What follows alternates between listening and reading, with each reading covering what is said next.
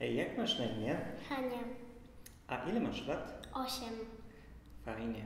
A kim dla ciebie jestem? Tatą, I, i kimś jeszcze?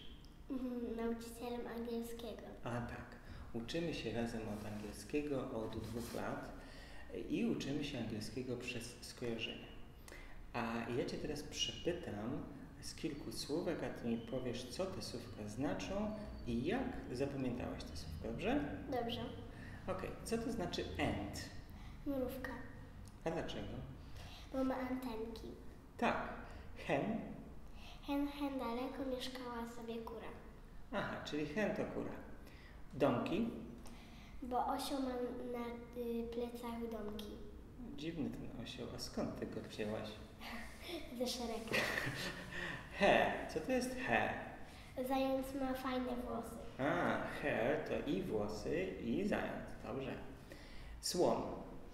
Y, Słony łabędź pływa w słonej wodzie. Słony łabędź pływa w słonej wodzie. Ciekawe. Eagle. Y, Eagle.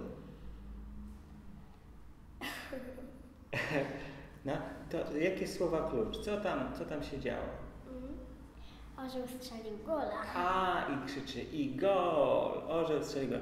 Wiem, ty ciągle zapominasz, co to jest orzeł, tak? Takie dziwne słowo. Orzeł, wrona, jastrząb. Dobra. Camel. Karmelowy wielbłąd. Karmelowy wielbłąd, tak. E, Ja pamiętam, że ty nie tylko dobrze zapamiętujesz takie skojarzenia, ale i wymyślasz, prawda? Tak. Jesteś dobra w tym. Jak chcecie zobaczyć, e, jak Hania sama wymyśla skojarzenia, to zapraszam Was do angielskiego w skojarzeniach, mamosłówka. I wydaje mi się, że rodzice, nauczyciele, nie bójcie się. Angielski w skojarzeniach dla Hani, która ma lat 8, a miała lat 6, jak zaczęliśmy, działa. Spróbujcie, polecam.